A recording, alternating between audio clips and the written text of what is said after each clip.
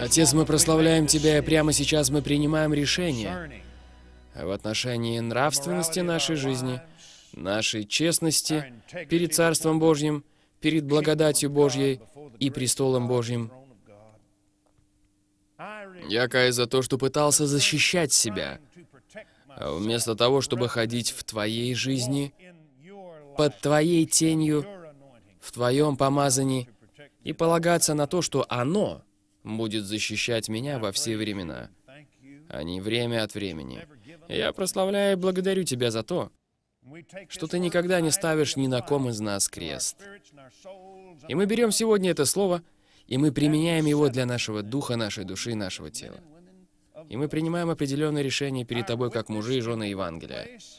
Что касается того, чтобы свидетельствовать на своем рабочем месте и завоевывать души. Слава Богу, мы ставим это в начале списка, а не где-то в конце. Что касается нашей работы, что касается нашей жизни, что касается нашей церкви, твоя работа стоит на первом месте. Аминь. И мы прославляем и благодарим Тебя за это. Слава Богу, аллилуйя. Аминь. Давайте откроем сегодня наши Библии на пятой главе четвертой книги царств. Итак, пятая глава, четвертый царств. Нииман, начальник царя сирийского, был великий человек у господина своего и уважаемый, потому что через него дал Господь победу сириянам. И человек сей был отличный воин, но прокаженный. Сирияне однажды пошли отрядами и взяли в плен из земли израильской маленькую девочку — и она служила жене Неймановой. И сказала она госпоже своей, «О, если бы господин мой побывал у пророка, который в Самарии, то он снял бы с него проказу его». И пошел Ниман и передал это господину своему, говоря, «Так и так говорит девочка, которая из земли израильской». И сказал царь сирийский Нейману, «Пойди, сходи, а я пошлю письмо к царю Израильскому. Он пошел и взял с собой 10 талантов серебра и 6 тысяч сиклей золота и 10 перемен одежд. Итак, я хочу, чтобы вы обратили здесь на кое-что внимание. Ничто из этого не было его. Это принадлежало царю. Царь послал письмо и эти дары царю Израильскому. Это не принадлежало Нейману. Это важно. Итак, смотрите. «И принес письмо царю Израильскому, в котором было сказано, «Вместе с письмом сим, вот я посылаю к тебе Неймана, слугу моего, чтобы ты снял с него проказу его».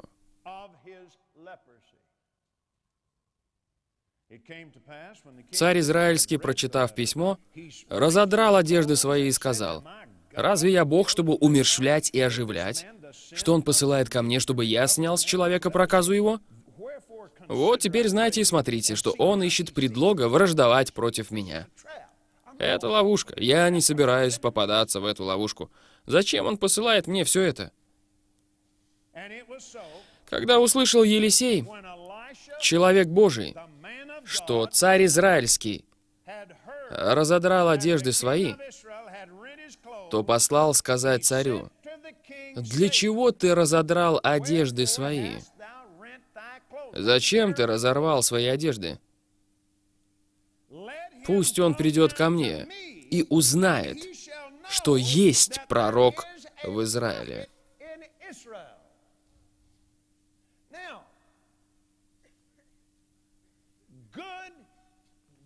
Рассудительность в духовных вещах сразу покажет вам, что вы не должны связываться с теми деньгами и всем остальным, что принес в той ситуации Нейман. Потому что вам пришлось позвонить туда и сказать им направить этого человека к вам. Если вы говорите им направить этого человека к вам, вам не нужно прикасаться ни к какому золоту или серебру или каким-либо пожертвованием. или к чему-либо еще. Потому что именно вы попросили их направить его к вам. Аминь. Не выставляйте Бога в таком свете. Вот есть человек, который пришел со всеми этими хорошими вещами, со всем этим серебром и золотом, всей этой одеждой и всем остальным. И царь не знает, что в этой ситуации делать. И вы слышите об этом, и вы звоните туда и говорите, пришлите его ко мне. Во-первых, вы не должны этого делать, чтобы заполучить эти одежды или эти деньги.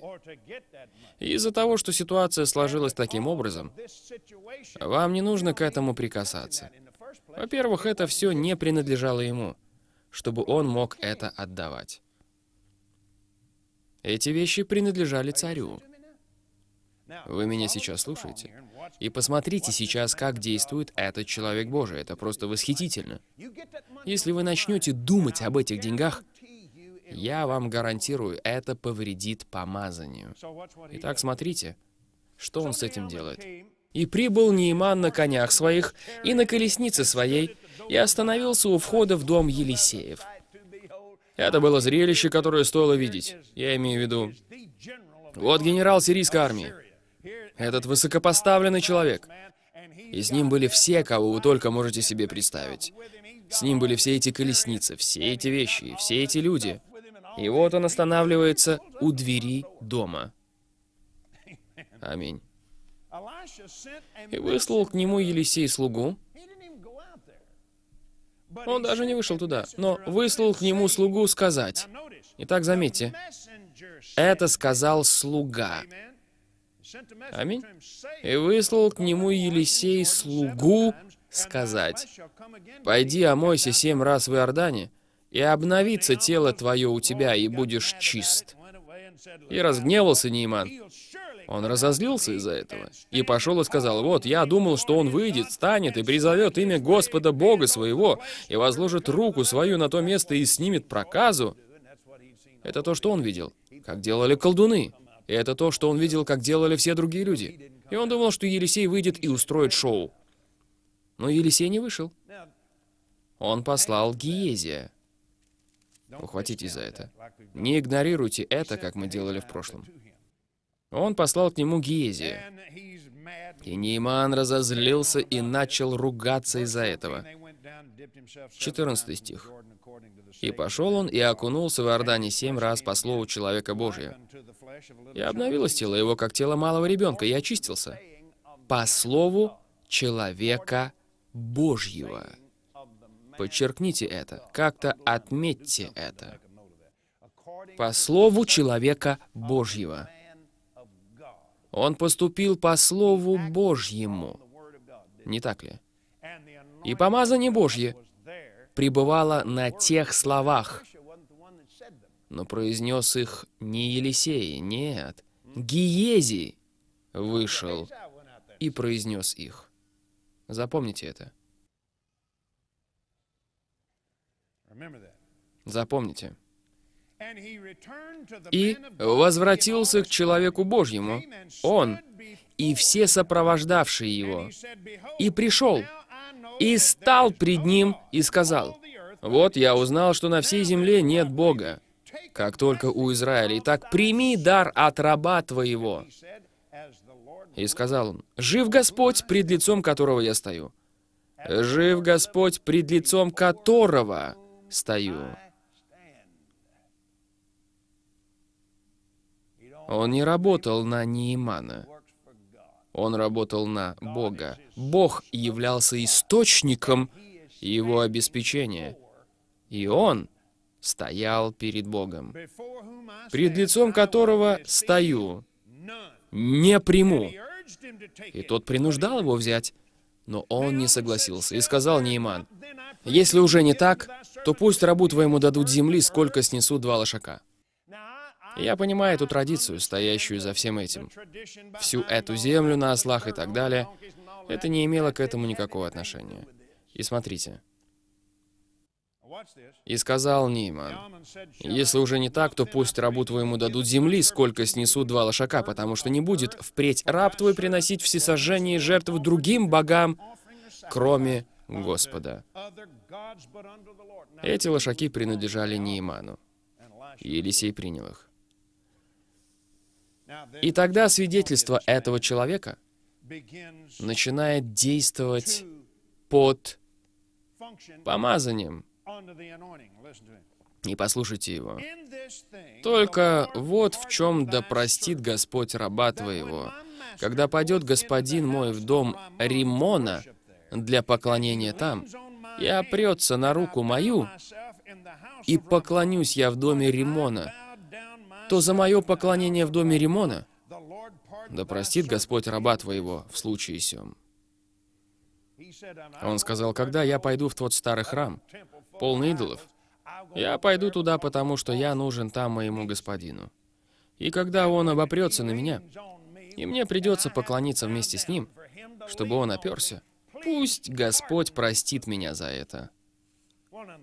Во-первых, он не знал, как поступить иначе. Но вы можете видеть, что он уже чувствовал свое почтение перед Богом. Он уже чувствовал, что ему незачем идти на компромисс с этим Богом. И он шел в тот храм только лишь потому, что он присягнул своему господину. Я не буду поклоняться там тем богам, и даже если будет казаться, что я им поклоняюсь, я хочу, чтобы Господь простил меня за это. И вы знаете продолжение этой истории. Но все равно давайте прочитаем это. Давайте прочитаем дальше. «И сказал Гиезий, слуга Елисея, человека Божьего, «Вот господин мой отказался взять из руки Неймана, этого сирианина, то, что он приносил. Жив Господь, побегу я за ним и возьму у него что-нибудь». И у него должен был быть какой-то предлог, чтобы взять это. Поэтому он придумывает фальшивый проект, чтобы как-то собрать пожертвования. Ну, знаете, брат Копланд, людям нужно представить проект, иначе они не будут давать. О, Господь, то есть вы выйдете и будете лгать и говорить, «Бог сказал мне делать то и это, и мы будем делать то и делать это, я знаю, что вы все захотите пожертвовать на это. И все остальное в этом роде. Только лишь для того, чтобы собрать пожертвования. Это не будет работать. Смотрите, что происходит. «И погнался Гиези за Нейманом. И увидел Нейман бегущего за собой, и сошел с колесницы навстречу ему, и сказал, «С миром ли?» Он отвечал, «С миром, «Господин мой послал меня». Он просто заврался. Послал меня сказать, «Вот, теперь пришли ко мне с горы Ефремовой два молодых человека из сынов пророческих. Дай им талант серебра и две перемены одежд». И сказал Нейман, «Возьми, пожалуй, два таланта». И упрашивал его. И завязал он два таланта серебра в два мешка и две перемены одежд и отдал двум слугам своим, и понесли перед ним. Когда он пришел к холму, то взял из рук их и спрятал дома, и отпустил людей, и они ушли. Когда он пришел и явился к господину своему, Елисей сказал ему, «Откуда Гиези?» И сказал он, «Никуда не ходил раб твой». Он снова солгал, и сказал он ему, «Разве сердце мое не сопутствовало тебе, когда обратился навстречу тебе человек тот с колесницы своей? Время ли брать серебро?» Нет, было не время брать серебро или деньги, потому что пророк сам пригласил к себе этого человека. Это не то, чтобы он, как пророк Божий, как человек Божий, не имел права брать. Но не так, не так. Здесь происходят более важные вещи. Я хочу, чтобы вы заметили сейчас, что произошло. Время ли брать одежды, или масличные деревья, и виноградники, и мелкий или крупный скот, и рабов или рабынь? Пусть же проказа Нейманова пристанет к тебе и к потомству твоему навек. Итак, что с ним произошло? Я хочу, чтобы вы помнили сейчас, что Гиезий занимал у Елисея то же самое положение, какое Елисей занимал у Илии. Он занимал то же самое место в плане Божьем. чтобы ходить в помазании Елисея. И когда он передал Слово Божье, сказанное Елисеем, Гиези взял и передал его Нейману, и Нейман исцелился на основании того, что сказал Гиези. Вы меня слушаете? У него было помазание взять это слово от Бога, и он вышел туда под тем же помазанием, которое пребывало на его господине Елисее. Передал это слово, и Нейман исцелился. И он придумывает себе фальшивый предлог для сбора пожертвований. Идет и собирает их. Но сделав это, он пошел на компромисс. Он скомпрометировал свое хождение с Богом, свое место. Кто-то другой, а не Бог. Кто-то другой, а не Бог этого старого пророка. Кто-то другой стал обеспечителем Гиезия. И когда он это сделал, это помазание покинуло его.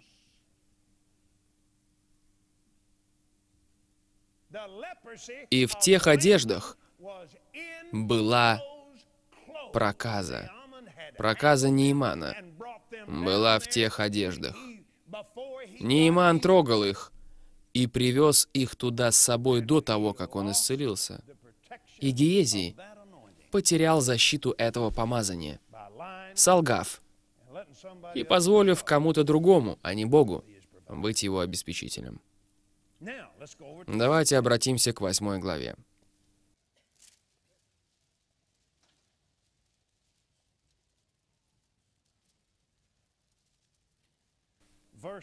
Седьмой стих. «И пришел Елисей в Дамаск, когда Винодад, царь сирийский, был болен. Тот же самый царь. Неужели вы думаете, что он не слышал Неймана? Неужели вы думаете, что этот генерал не свидетельствовал ему? В конце концов, начнем с того, что Винодад всецело был за то, чтобы Нейман туда пошел. Он и письмо написал царю Израильскому.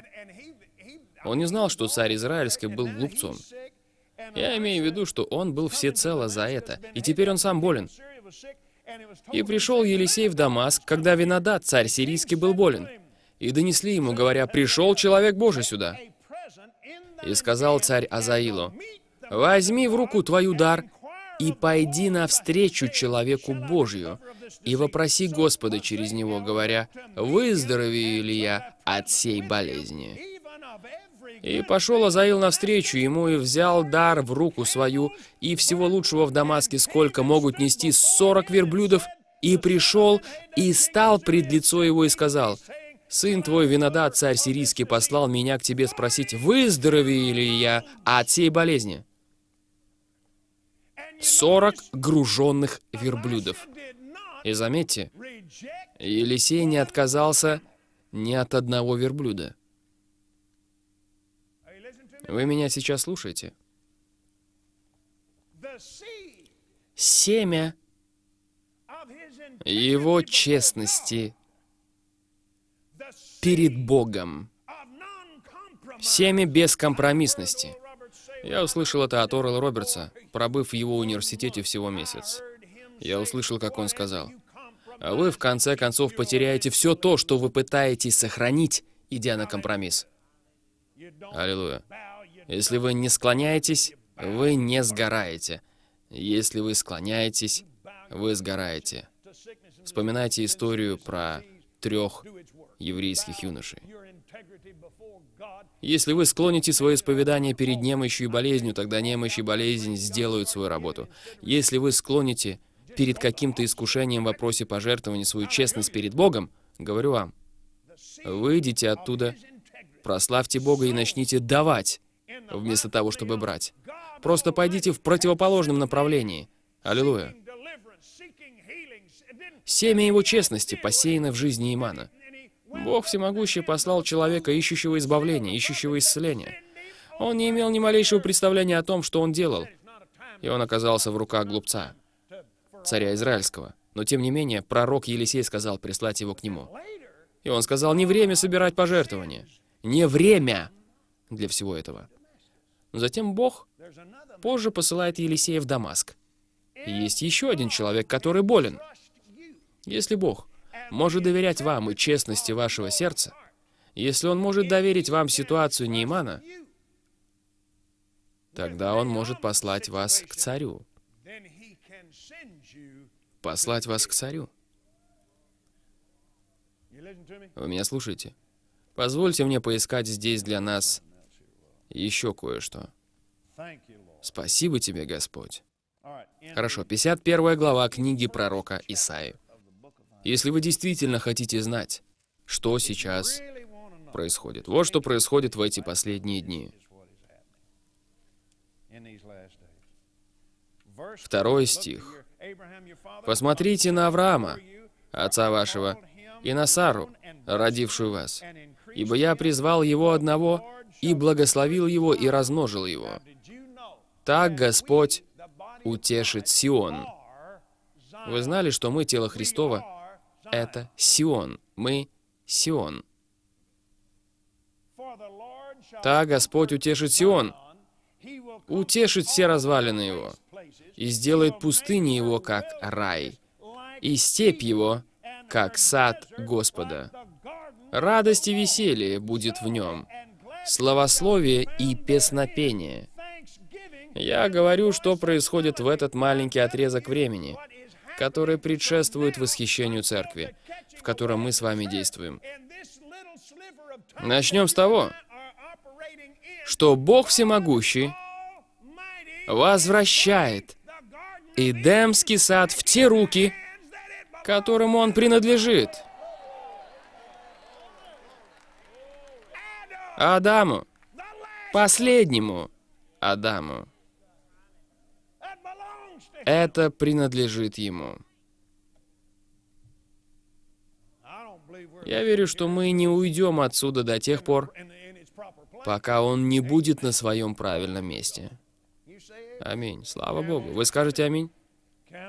Верблюды приходят. Верблюды приходят. Аминь. Аллилуйя. Я сонаследник с Иисусом. Мне принадлежит часть этого сада. Он сказал, что Он утешит развалины, утешит эту пустыню. Слава Богу. И сад Господа, и вся та радость, которой Бог предназначил быть в этом саду, аллилуйя, и великое пение, великое пение, песни искупленных, все это возвращено нам обратно, аллилуйя. Встаньте и давайте возрадуемся и воздадим Богу хвалу за это.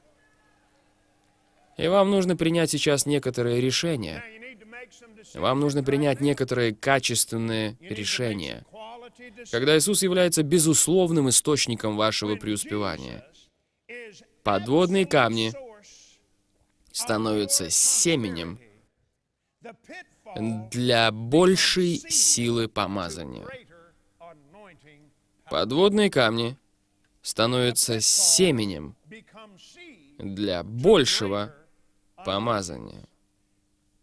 Писание говорит, что если Бог может доверить вам малое, тогда Он сможет доверить вам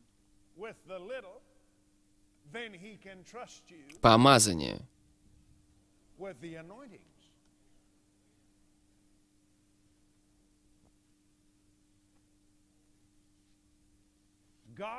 Бог дает тебе силу. Скажите силу. Скажите помазание. Приобретать богатство.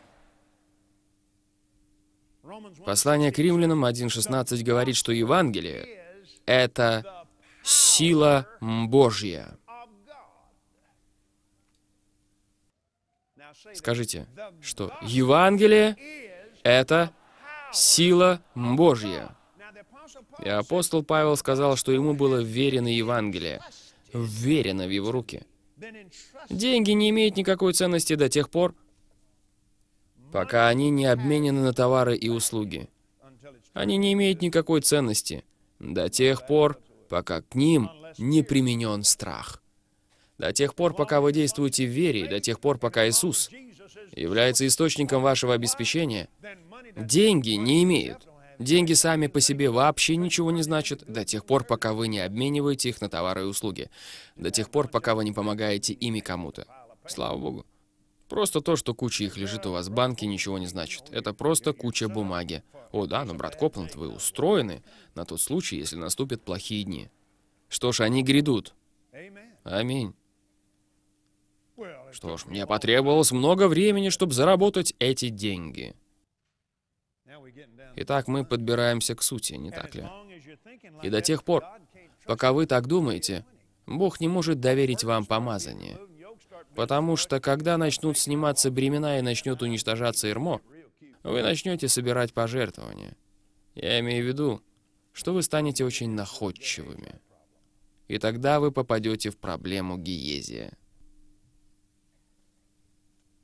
Я практически могу слышать некоторые ваши мысли отсюда. Хорошо, это хорошо. Сделайте себе сейчас тык, если нужно. Аллилуйя. Евангелие. Вы меня сейчас слушаете? Это сила Божья. Именно Бог дает вам силу приобретать богатство. Евангелие — это сила Божья. Именно Бог дает вам Евангелие, чтобы приобретать богатство. Иисус сказал, «На мне пребывает помазание, чтобы проповедовать Евангелие нищим». Евангелие — это сила Божья. Это сила, чтобы исцелять. Это сила, чтобы спасать. Это сила, чтобы освобождать. Это сила, чтобы знать. Это сила, чтобы понимать.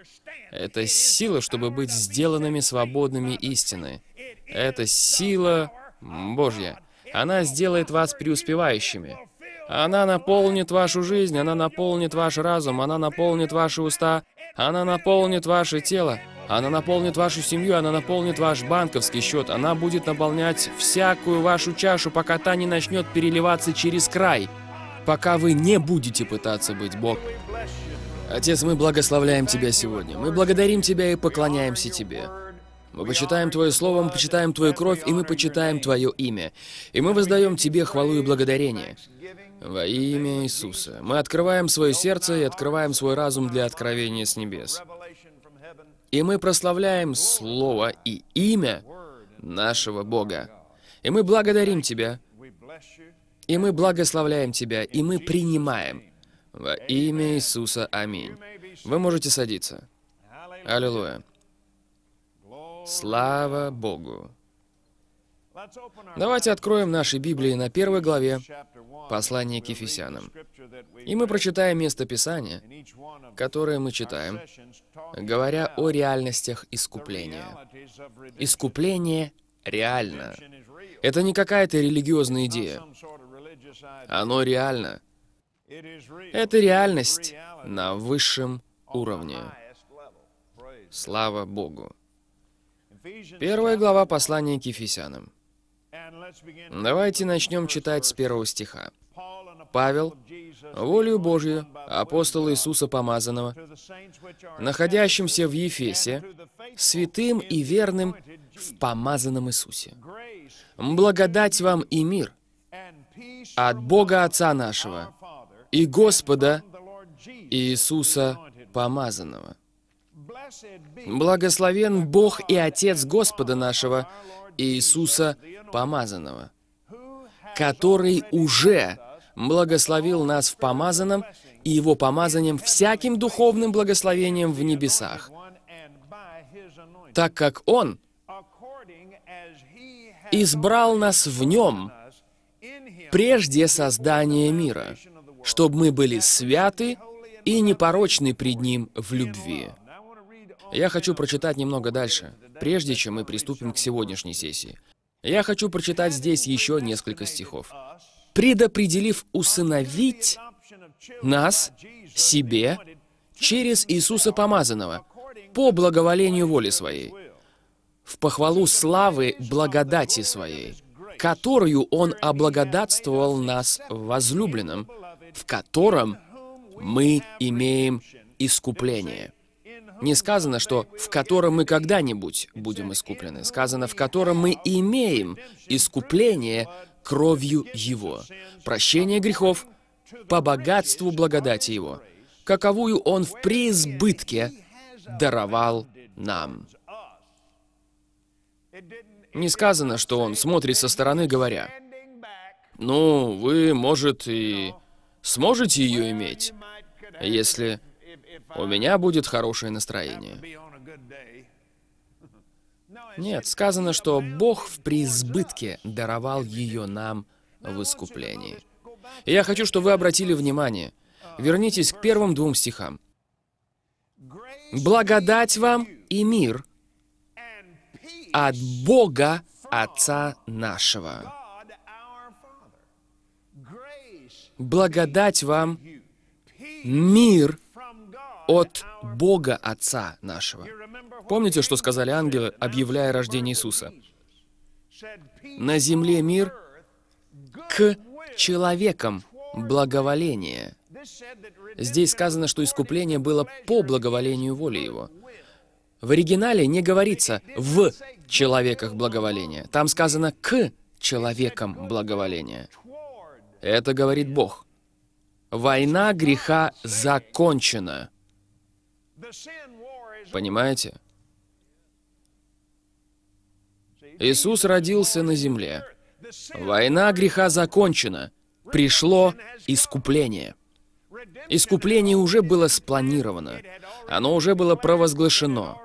Это уже было провозглашено Богом, что мы были приняты в Нем, святыми и непорочными, до основания мира, до того, как случился грех, до того, как была сотворена земля, до того, как был сотворен Люцифер, до того, как был сотворен Адам, до грехопадения, проклятия и всего остального.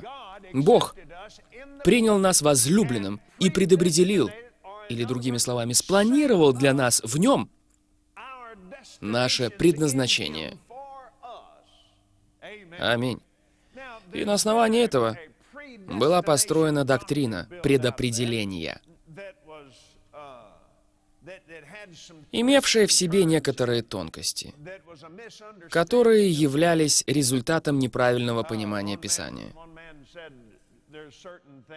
Один человек сказал, что есть люди, которые просто не знают определенные вещи, потому что Бог не предопределил им их знать. Другими словами, вы могли бы изучать Слово Божье всю свою оставшуюся жизнь, но так никогда ничего из него и не вынести, потому что Бог не предопределил ваше спасение. И что есть люди, которым просто предопределено пойти в ад, а другим предопределено быть спасенными Богом. И они в любом случае будут спасены, поэтому незачем заниматься никаким евангелизмом. Но это местописание говорит совершенно не об этом. Это местописание говорит о том, что Бог предопределил всю человеческую расу, каждого, кто захочет. Это было его предопределение еще до того, как произошел грех, еще до того, как была сотворена земля, чтобы все люди были благословлены всеми духовными благословениями в небесах, Его помазанием. Аллилуйя. Это была воля Божья, понимаете? Поэтому мы должны это помнить. Позвольте мне напомнить вам эти места Писания. Послание к Титу 1.2 говорит, «В надежде вечной жизни, которую обещал неизменный в Слове Бог прежде вековых времен». Затем в послании к евреям 4.3 сказано, «Дела его были совершены еще в начале мира». И посмотрите здесь же, во второй главе послания к Ефесянам, 10 стих.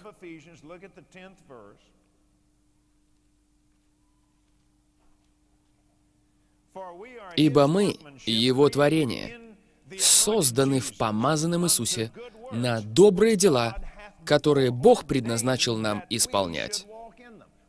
Когда Он это предназначил? Первое послание Петра 1, 19-20 стихи говорят нам, что Иисус был предназначен еще до основания мира. Поэтому наши пути, наша дорога к нашему избытку в Боге была предопределена в Его предназначении. Потому что Он Господь этого. Он Господь. Он был предназначен до того, как произошел грех. Он был предназначен до сотворения мира. Он был предназначен для того, чтобы прийти и ходить по этой земле и служить. Он был предназначен для того, чтобы пойти на крест и взять на себя наши грехи. И он был предназначен для того, чтобы заплатить цену за грех, преступление Адама. Он был предназначен для того, чтобы быть воскрешенным из мертвых, перворожденным. Он был предназначен для того, чтобы восесть по правую руку Отца, слава Богу. Царь царей, Господь господствующих. Аминь. Когда? До основания мира. И 13 глава книги Откровений говорит, что Агнец был заклан до основания мира. Так что Бог завершил все это еще до того, как был сотворен Адам. Поэтому, чтобы обобщить это, позвольте мне дать вам следующее утверждение. И затем мы перейдем к некоторым другим вещам, касающимся реальности честности записанного Слова Божьего, о чем и поговорим сегодня. И вот, вкратце, суть этого. До основания мира, по благоволению воли своей, Бог благословил человека всеми духовными благословениями в небесах. Первые сотворенные мужчина и женщина, и затем каждый мужчина и женщина, рожденные потом на этой земле, получили свою равную часть всего, что было у небес.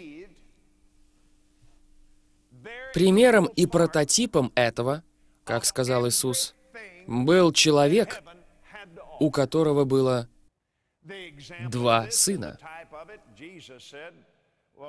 Одного из них назвали блудным сыном, второй оставался дома. Они оба вели себя неподобающим образом. Они оба пытались быть слугами своему отцу, но их отец не искал слуг. У него были слуги. Он искал сыновей. И в той иллюстрации, прототипе, когда один из сыновей пришел к нему и попросил свою часть, равную часть своего наследства, отец дал его каждому из них. Понимаете? Бог нелицеприятен. И Он — воплощение справедливости. Говорю вам. Поэтому еще до основания мира Он дал. Он разделил все, что было у небес, все, что могли предложить небеса, между каждым человеком, который когда-либо родится на этой земле.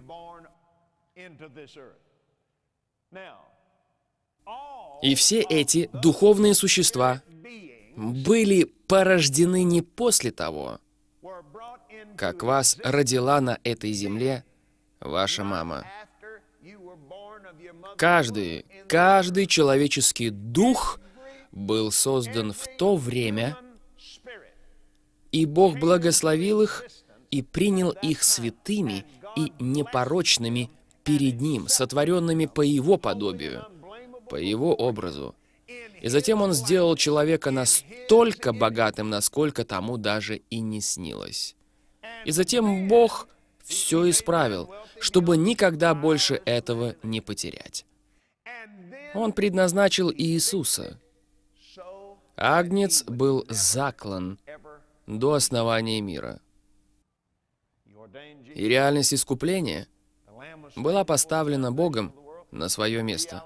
Так что Он дал вам все, что у Него было. И затем дал вам своего Сына, чтобы не дать вам потерять все остальное, что Он вам дал. Аллилуйя. И затем Слово Божье говорит, Его мудрость была предназначена для нас, сокрыта для нас к славе нашей до основания мира. Аминь. До того, как вы все напутали.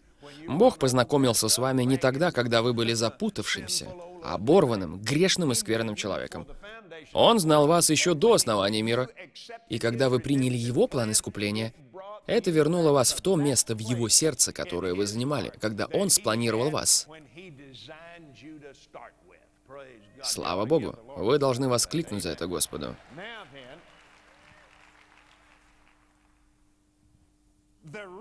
Итак, записанное Слово Божье несет в себе характер и абсолютную честность всемогущего Бога. Давайте обратимся сегодня к Евангелию от Иоанна. А затем мы посмотрим и другие места Писания. Мы не будем возвращаться к тому, о чем мы уже говорили. Но невозможно говорить о Слове Божьем и его честности, не обращаясь к этому месту Писания. Евангелие от Иоанна, 1 глава, 1 стих. В начале было Слово. А мы говорили о том, что было до начала.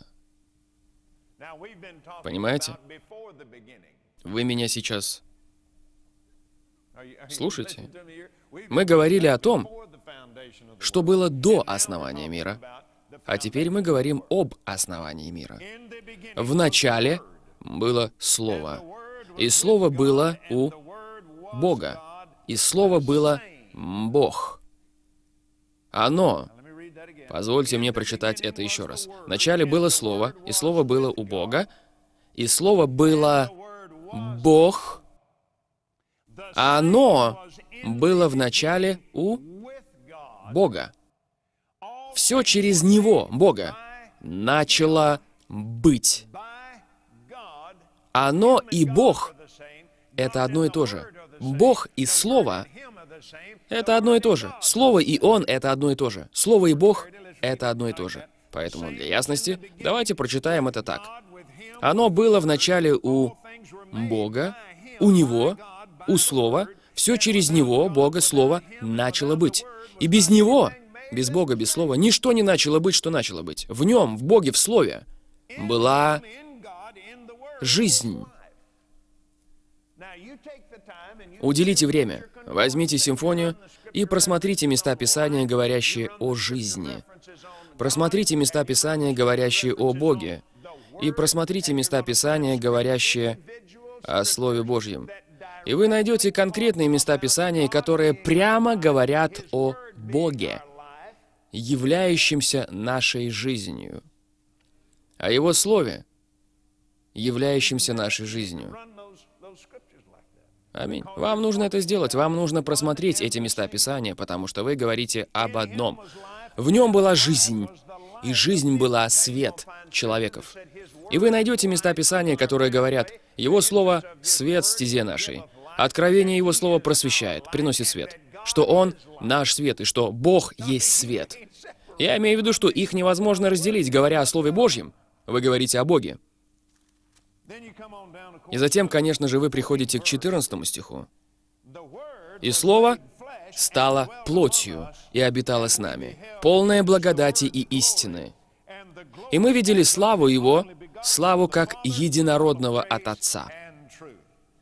Итак, мы утвердили это. Если вы будете сегодня внимательны, если вы будете возвращаться к этим местам Писания и к тому, о чем мы говорим, до тех пор, пока они не обновят ваш разум, чтобы он начал думать таким образом. Даже несмотря на то, что вы умственно соглашаетесь с тем, что я вам здесь говорю, потому что вы знаете, что это истина. Вы можете умственно соглашаться или, как сказал вчера Крефло Доллар, вы можете умственно прийти к какому-то взгляду, пониманию. Умственное согласие — это еще не обязательно означает обновленный разум. Умственное согласие говорит, «О да, это истина». Но потом вы разговариваете и поступаете так, как если бы это не было истиной. Умственное согласие — это проблема среди христиан. Есть люди, которые умственно согласились с тем фактом, что Иисус Христос является Сыном живого Бога, и они не рождены свыше потому что они просто умственно согласились с этим, но никогда не поступили на основании этого слова. Никогда не привели это слово в действие в своей жизни. И сегодня мы увидим, в чем здесь разница. Итак, если вы будете очень внимательны и будете обновлять свой разум в отношении этих фактов, когда ваш разум обновлен в отношении этого, он принимает реальность этого. Это реально. Это не что-то такое, что... Ну да, о да, Брат Копланд, да, да, я знаю, что Слово Божие так говорит. Но в действительности это совершенно не является настолько реальным. Это что-то абстрактное, теоретическое. Но если вы ухватитесь за это, тогда в этом материальном мире нет ничего, чего вы не можете привести в порядок или изменить, или полностью удалить из своей жизни. И нет ничего, что обещано в Слове Божьем, чего вы не можете получить. Когда вы действительно ухватитесь за реальность того, чем я буду делиться сегодня с вами, и что Слово Божье говорит об этих вещах, тогда нет ничего обещанного в Библии, чего вы не можете получить. Поскольку это было обещано для того, чтобы вы могли это получить. Понимаете, вера приходит от слышания, а слышание от Слова Божьего. Вера является результатом реальности Слова Божьего. Слово Божье является источником нашей веры, источником нашего преуспевания, источником нашего здоровья, источником нашей мудрости, чтобы жить, и знания, чтобы жить успешно на этой земле, даже несмотря на то, что мы проходим через долину смертной тени. И быть в состоянии пройти через эту долину и не бояться никакого зла. И без Слова Божьего вы не можете этого сделать. Вы даже можете преодолеть страх, но он по-прежнему там. Но Слово Божье является источником любви Божьей в нашей жизни, и совершенная любовь изгоняет страх. И вы можете прийти к тому, что она станет настолько реальной, что страх больше не сможет в вас оставаться. Скажу вам, когда я впервые это понял, я стоял на Слове Божьем в этом вопросе, потому что я видел, каким врагом был страх. Я понимал, что когда я хожу верой, то место, где моя вера останавливалась и начинался страх, всегда было тем местом, где я терпел поражение. Страх — это место вашего провала. Как Бог ничего не может сделать для вас, если нет веры, точно так же и сатана ничего не может вам сделать, если нет страха. Потому что именно там ваша связь. Если он с вами не соединен, он ничего не может вам сделать. Понимаете? Он не был соединен с Иисусом. В этом и был весь смысл рождения от Девы. Иисус был рожден вне закона греха и смерти. У Иисуса была власть над ним. Это не то, чтобы он не мог согрешить, а то, что он не согрешил. Иисус сказал, вор приходит, но во мне не находит ничего. Там не было никакой связи, поэтому дьявол не мог ему ничего сделать, а только говорить ему что-то. Все, что дьявол мог сделать, это угрожать Иисусу, говорить ему, искушать его. И Иисус брал записанное Слово Божье и приказывал ему уйти, и дьявол был вынужден повиноваться, потому что это не книга о ком-то, эта книга и есть кто-то. Это живое Слово Божье. Аллилуйя. И когда вы видите это место, я увидел его, и я подумал, Господь, я должен подняться выше этого. Я собираюсь бодрствовать и противостоять страху. Я намерен полностью выгнать его из своей жизни. Я просмотрел места Писания, касающиеся его. И у меня было Слово Божие на этот счет. И я увидел, что был финансовый страх, также был страх немощи и болезни. Я увидел, что был целый ряд страхов, которые были противоположны благословениям Божьим. Противоположность — это что-то, что одинаково по природе, но в точности противоположно в действии. Страх — это противоположность веры. Север — это противоположность юга — они оба являются направлениями компаса. Но одно направлено в одном направлении, а другое в другом. Если вы движетесь на север, вы движетесь в направлении север-юг. Вы на этой прямой. Вам не нужно куда-то сворачивать, чтобы начать двигаться в направлении юга. Вы и так на этой прямой. Все, что вам нужно сделать, это развернуться на 180 градусов и пойти в противоположном направлении, понимаете?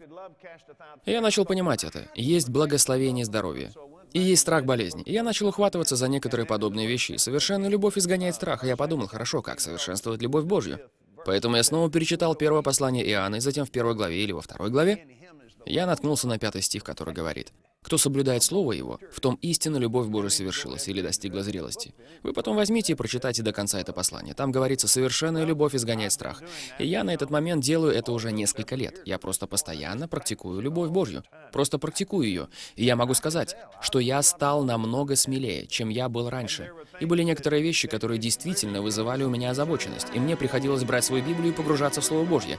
И находить соответствующие обетования и побеждать это, выгонять это. И теперь у меня больше нет с ними никаких проблем. Отец, мы благословляем Тебя сегодня. Мы благодарим Тебя и поклоняемся Тебе. Мы почитаем Твое Слово, мы почитаем Твою кровь, и мы почитаем Твое имя. И мы воздаем Тебе хвалу и благодарение. Во имя Иисуса. Мы открываем свое сердце и открываем свой разум для откровения с небес. И мы прославляем Слово и имя нашего Бога. Мы благодарим Тебя, и мы благословляем Тебя. И мы принимаем во имя Иисуса. Аминь. Вы можете садиться. Аллилуйя. Слава Богу. Я хочу, чтобы мы с вами сегодня на этом собрании обратились к первой главе второго послания Петра. И мы поговорим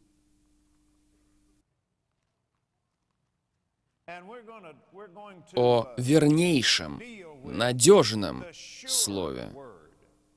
Вернейшее слово. 2 Петра, 1 глава. Если вы будете сегодня внимательны, если вы будете возвращаться к этим местам Писания и к тому, о чем мы говорим, до тех пор, пока они не обновят ваш разум, чтобы он начал думать таким образом. Даже несмотря на то, что вы умственно соглашаетесь с тем, что я вам здесь говорю, потому что вы знаете, что это истина. Я хочу, чтобы вы приготовили сейчас свое мышление, чтобы ухватиться за истину честности записанного Слова Божьего. Потому что мы поговорим о некоторых вещах, где христиане терпят поражение в этой сфере. И это большая, большая сфера поражения среди христиан. Они постоянно носят с собой свою Библию, никогда не изучая ее, никогда не читая ее, только ссылаясь на нее. И даже когда они ссылаются на нее, зачастую они ничего не читают, кроме своей доктрины.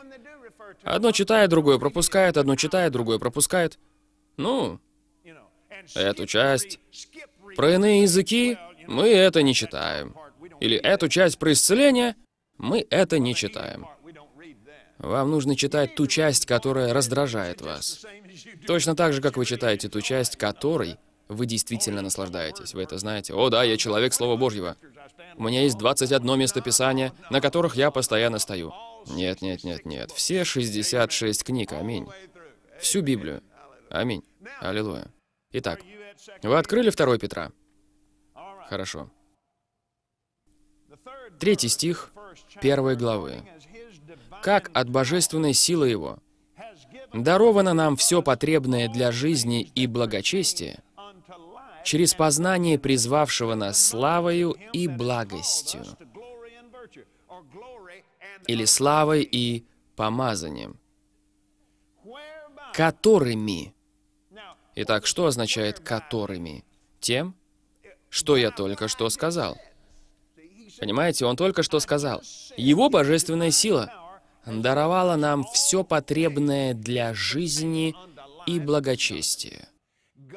Когда вы были еще в своем совершенном состоянии, еще до основания мира, Бог, который не может солгать. В своей воле, в своем желании, в своем слове, Он дал обетование, Он заключил заветы, которые никогда не могут быть изменены. Итак, Он даровал нам все потребное для жизни и благочестия. Вы помните это в Эдемском саду? Боже мой, вы говорите о месте, в котором было все потребное для жизни и благочестия, где можно было ходить и разговаривать с Богом каждый день, в прохладе дня. Бродись там, упинать куски золота, лежащие на дороге. Идти туда, куда тебе хочется. Гулять там и срывать плоды с деревьев. Слава Богу. И чтобы на вас пребывало столько славы, что вы никогда не видели свое тело. Это все потребное для жизни и благочестия. Он дал нам все потребное для жизни и благочестия, и Он выразил это в самом начале. да будет свет. И он сотворил этот Эдемский сад. Он насадил его и сотворил его для своего человека. Поэтому есть выражение «дарование нам всего потребного для жизни и благочестия». Но затем это было прервано. Пришло проклятие. Итак, которыми дарованы нам великие и драгоценные обетования. Позвольте мне вам кое-что сказать. Великие и драгоценные обетования производят великие и драгоценные вещи. Не забывайте, это живое слово. Аминь. Хорошо. Которыми дарованы нам великие и драгоценные обетования, дабы вы через них соделались причастниками божеского естества, или чтобы посредством их вы могли этой божественной силой получить все потребное для жизни и благочестия. Оно завернуто в эти обетования. И теперь обратитесь вместе со мной к 16 стиху. И обратите на это особое внимание. Это исправляет наши приоритеты и наше мышление в отношении духовных проявлений и записанного Слова Божьего. Записанное Слово Божье является записанным духовным проявлением. Вы не можете сказать, ну, это было проявление, но это всего лишь слово. Слово Божье является проявлением Бога. Это Бог. Ибо мы возвестили вам силу и пришествие Господа нашего Иисуса Помазанного, не хитросплетенным басням последуя, но бывший очевидцами Его величия. Ибо Он принял от Бога Отца честь и славу, когда от велилепной славы принесся к Нему такой глаз. «Сей есть Сын мой возлюбленный, в котором мое благоволение». Вы когда-нибудь останавливались и задумывались о том, что Он не смог бы этого заявить, если бы Иисус не ходил верой? Иисус не просто плыл по этой жизни, на этой земле нетронутым. Иисус должен был ходить верой точно так же, как вы должны ходить верой. И Слово Божье было источником его веры точно так же, как оно является источником нашей веры. Потому что вы не получаете ее как-то иначе. Аминь. Итак, и этот глаз, принесшийся с небес, мы слышали. Они физически слышали этот голос. Это было физическое проявление слышимого голоса всемогущего Бога, который донесся из этой великолепной славы в эту естественную сферу. И они слышали, как он сказал. Были и другие люди, которые слышали, как Бог это говорил. Но они подумали, что это раскаты грома. Так говорит Писание. Их ухо не было настроено на Бога, и они слышали Его слышимый голос, и не знали, что это был Бог. Они думали, что это раскаты грома. Сколько раз, как вы думаете, Бог пытался говорить к вам? И вы говорили, это был гром? На небе не облачко? Ну, я могу поклясться, что буквально недавно прокатились раскаты грома. Я думал... Я... Я не знаю. Но это поднимает здесь кое-какой вопрос. В этом есть элемент неуверенности, не так ли? Бог мог говорить вам, а вы так никогда этого и не слышали. Не потому, что Он не может этого сказать, а потому, что вы настолько тупы, что не можете слышать. Духовная тупость — это когда Бог говорит, но вы этого не слышите. Иисус в своей проповеди сказал, «Кто имеет уши слышать, да слышит». И у каждого там с обеих сторон головы были эти лопасти, эти уши. Они сидели там и слушали. Почему он тогда сказал, если у вас есть уши, чтобы слышать, слушайте? И сидевшие там люди спрашивали, о чем он говорит? Я слушаю уже последние три часа, что он имеет в виду, говоря, слушайте. Я слушаю. Миртл, ты это поняла? Да, ты снова все пропустил. Она услышала это, а он нет. Но они оба слушали этими ушами.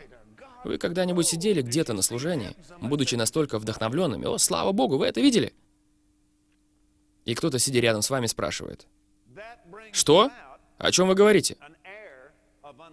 Это создает атмосферу неуверенности, неясности в отношении этого. Потому что кто-то слышал это, а кто-то нет. Так что же мы будем делать? О, вот бы мне услышать слышимый голос Бога. Вы слышите его сейчас? Что, если вы услышали его и неправильно поняли? Есть некоторая атмосфера неуверенности, неясности в отношении этого, не так ли? Хорошо. Не хитро сплетенным басням последуя, 17 стих, «Он принял от Бога Отца честь и славу, когда от велилепной славы принесся к нему такой глаз. Бог говорил Иисусу, «Сей есть Сын мой возлюбленный, в котором мое благоволение». Бог даже не говорил им, Он говорил Иисусу. Это интересно, не так ли? И этот глаз, принесшийся с небес, мы слышали, будучи с Ним на Святой горе.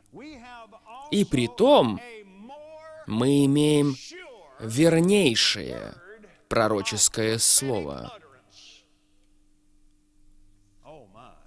О, слава Богу!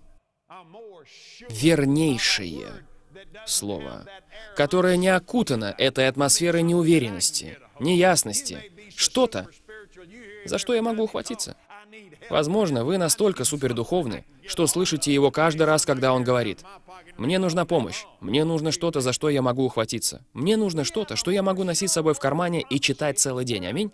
Мы имеем вернейшее пророческое слово, и вы хорошо делаете, что обращаетесь к нему, как к светильнику, сияющему в темном месте, доколе не начнет расцветать день, и не взойдет утренняя звезда в сердцах ваших. Вы можете ухватиться за обетование Божье, которое, вы знаете, является Божьим обетованием.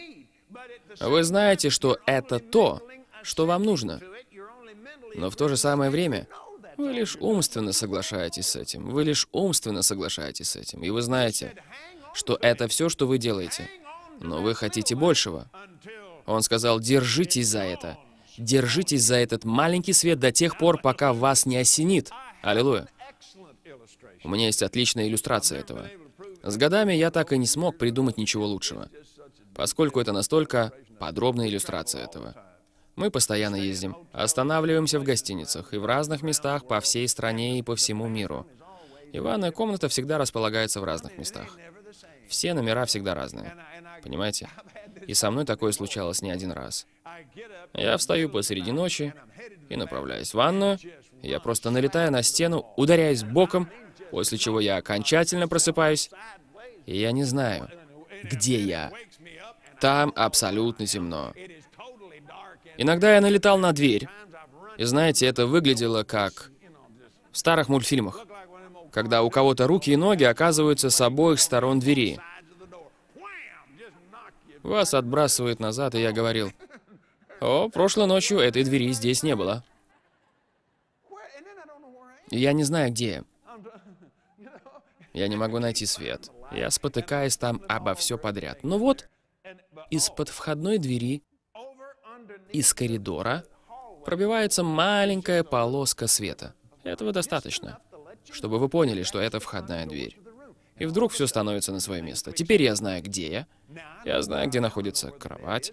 Я знаю, где находится ванная комната. И я не ударяюсь о стену. И я могу следить за этой маленькой полоской света до тех пор, пока я не смогу очень осторожно перейти туда, ни обо что не спотыкаясь, и включить большой свет.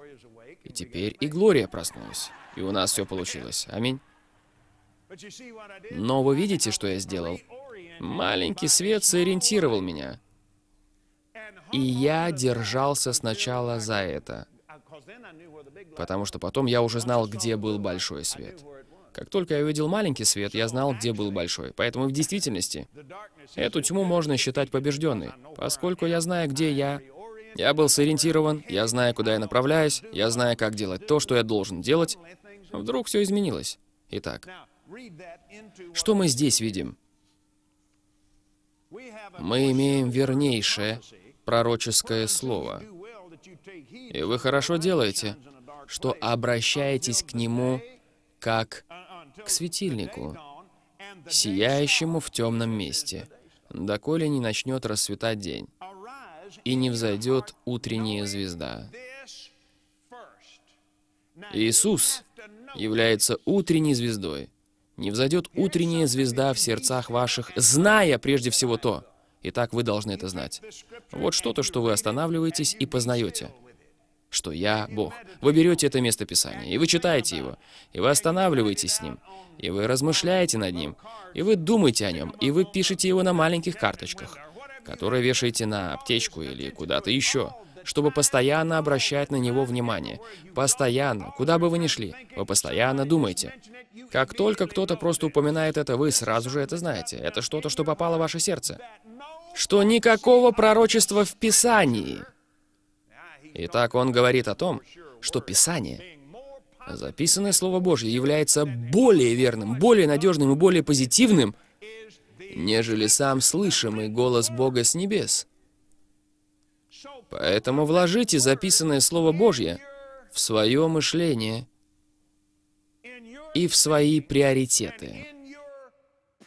Для вас записанное Слово Божье должно стоять выше самого слышимого проявления Бога прямо с небес. Оно выше приходящего к вам ангела. Оно является более высоким проявлением Бога, нежели что-либо другое, с чем вы контактируете. Когда вы выходите на такой уровень, где вы это знаете, тогда вы можете определить, являются ли все эти другие вещи волей Божьей когда вы выходите на такой уровень, где вы ставите Слово Божье на первое место.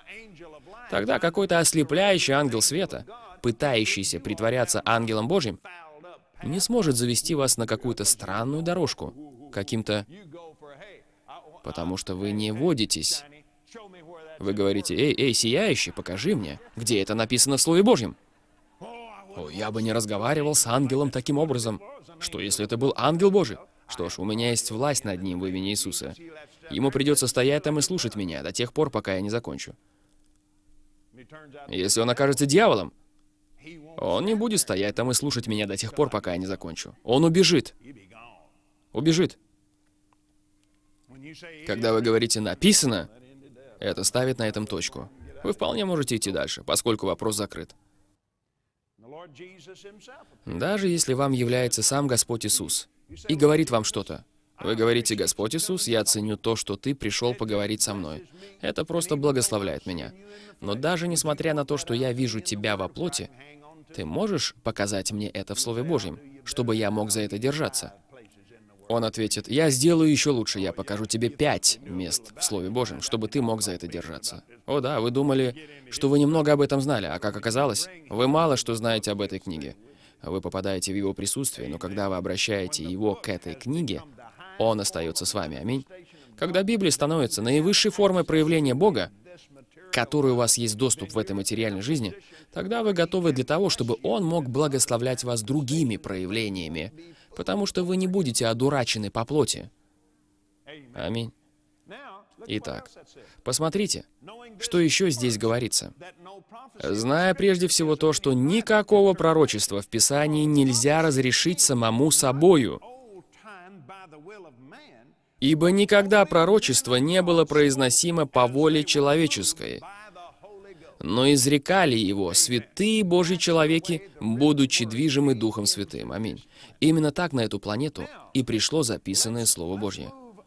И давайте перейдем в третью главу, 15 стих.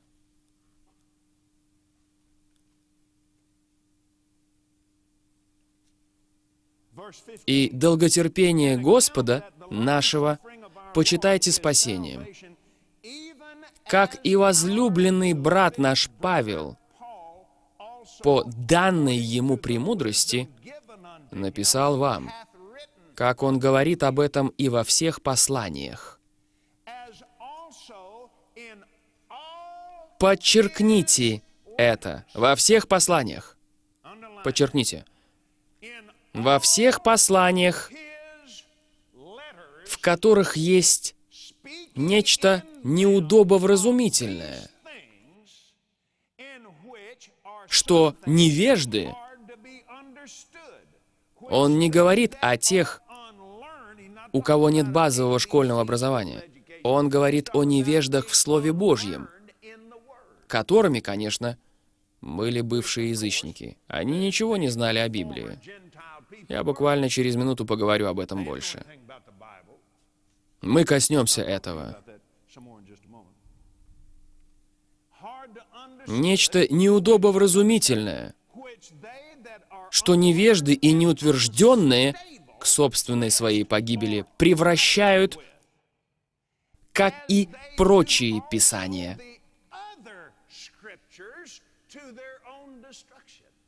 Итак, заметьте, он сказал, что все послания, которые написал апостол Павел, были даны ему мудростью Божьей. И он сказал, что они все являются Писанием, точно так же, как и все другие Писания, которые были изречены святыми людьми Божьими. Итак, он классифицировал, что такое Новый Завет. Не так ли? Поэтому пусть не будет никакого сомнения насчет честности записанного слова живого Бога. Отец, мы благословляем Тебя сегодня. Мы благодарим Тебя и поклоняемся Тебе. Мы почитаем Твое Слово, мы почитаем Твою кровь, и мы почитаем Твое имя. И мы воздаем Тебе хвалу и благодарение во имя Иисуса. Мы открываем свое сердце и открываем свой разум для откровения с небес. И мы прославляем Слово и имя нашего Бога. Мы благодарим Тебя, и мы благословляем Тебя. И мы принимаем во имя Иисуса. Аминь. Вы можете садиться. Аллилуйя. Слава Богу. Давайте сейчас немного прославим Господа. Аллилуйя, слава Богу. Я становлюсь настолько напряженным, что иногда с трудом могу дышать. Хорошо просто остановиться, расслабиться и немного подышать. Аллилуйя, аминь. Мы говорим о надежности, достоверности Слова Божьего. Давайте обратимся к посланию Иакова. Это предыдущее послание. Первая глава послания Иакова.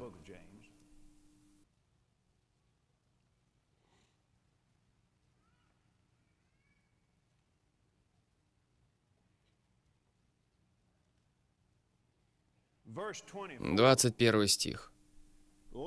«Посему, отложивши всякую нечистоту и остаток злобы, в кротости примите насаждаемое слово, могущее спасти ваши души. Это означает то же самое, что и обновление вашего разума. Здесь речь не идет о рождении свыше, потому что он уже пишет это рожденным свыше людям. Он говорит о Слове Божьем, которое может спасти вас от всех этих вещей.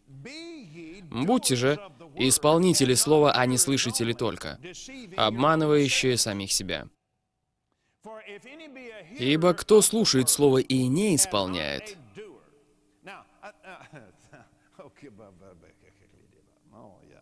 да, я никогда этого не делал, но сделаю. Да, спасибо тебе. Мы вернемся и сделаем с этим то же самое, что апостол Иоанн сделал в своей первой главе. Я никогда этого не делал, я только что услышал это Духом Святым. Будьте же исполнители Слова Божьего. Его. Они одно целое, не так ли? Итак, будьте же исполнители Слова. Будьте же исполнители Бога. Будьте же исполнители Его а не слышатели только обманывающие самих себя. Ибо кто слушает Бога, слушает Слово, слушает Его и не исполняет, тот подобен человеку, рассматривающему природные черты лица своего в зеркале. Он посмотрел на себя, отошел и тотчас забыл, каков он. Это просто говорит о том, что он не принял никакого решения принять это. Кто-то может подойти к вам и сказать, «Скажите мне либо в дюймах, либо в сантиметрах, какой длины у вас нос?» И вы смотрите на свой нос в зеркале каждый день в своей жизни, начиная, наверное, с 18-месячного возраста. Вы всю свою жизнь смотрите в зеркало, но вы не знаете, какой длины у вас нос. Почему? Вы никогда его не измеряли. Вы можете представить себе кого-то, кто измеряет свой нос и измеряет свои уши. Вы, должно быть, приняли решение это сделать. Если вы когда-либо стояли перед зеркалом и измеряли свой нос, вы теперь уже будете помнить, какой он длины, поскольку это настолько необычное действие. Вы теперь уже будете помнить, когда бы у вас кто ни спросил. Хотя, наверное, никто никогда и не спросит. Но если спросит, вы готовы. Аминь. Вам даже не нужно записывать это и носить с собой в своей сумочке. Я имею в виду, что вы готовы. Вы точно знаете, какой длины у вас нос. Потому что вы приняли решение узнать это. Вот кто-то, кто слышит Слово Божье, но так никогда и не принял решение поступать на основании его. Когда вы принимаете решение, что Слово Божье является окончательным авторитетом в вашей жизни, и все, что Он говорит, является правильным, и что бы Он ни говорил, вы откорректируете свою жизнь, чтобы делать то, что Он говорит, и приносить в свою жизнь не то, что думаете вы, но то, что думает Бог, потому что Его мысли выше мысли ваших, и Его пути выше путей ваших. И когда вы начинаете вслед за Ним мыслить Его мыслями, и следовать Его путями, это э, выведет вас на более высокий уровень. И затем вы просто продолжаете подниматься и просто продолжаете свое восхождение, слава Богу, и поднимаете свое мышление, поднимаете в своих действиях. И вот суть, о которой мы здесь говорим. Но кто вникнет в закон совершенный, закон свободы,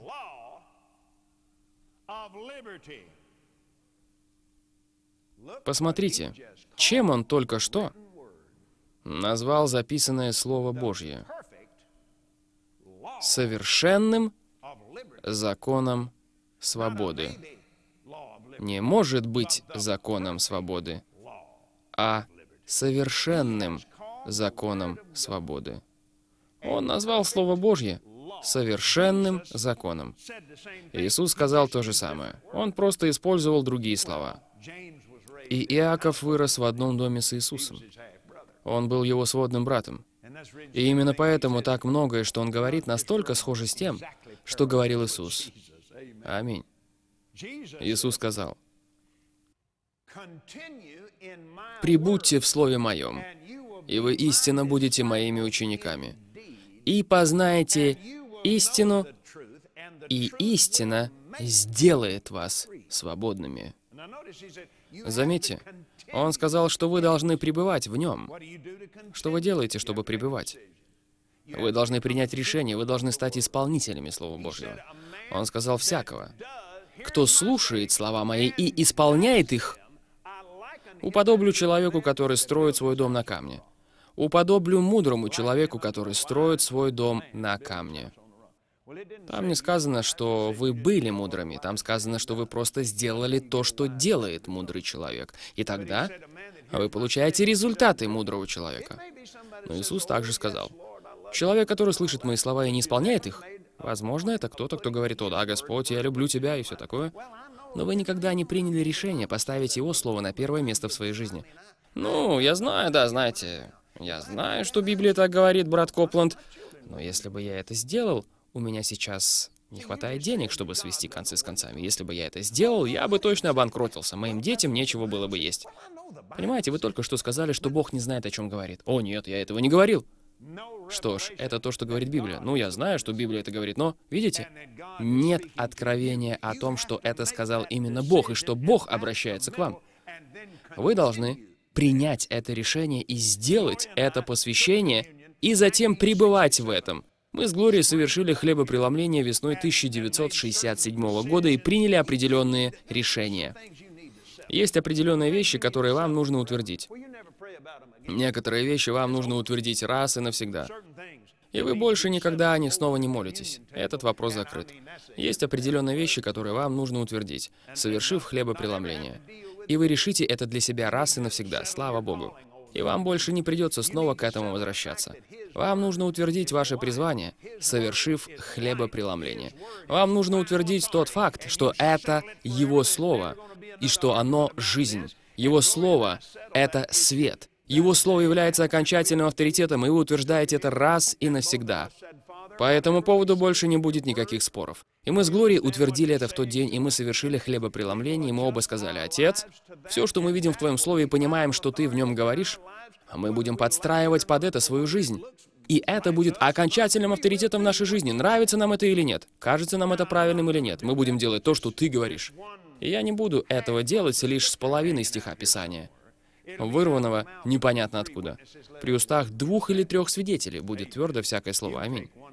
Вы можете вырвать один кусок отсюда, другой кусок оттуда и заставить Библию говорить все, что вы хотите, чтобы она говорила.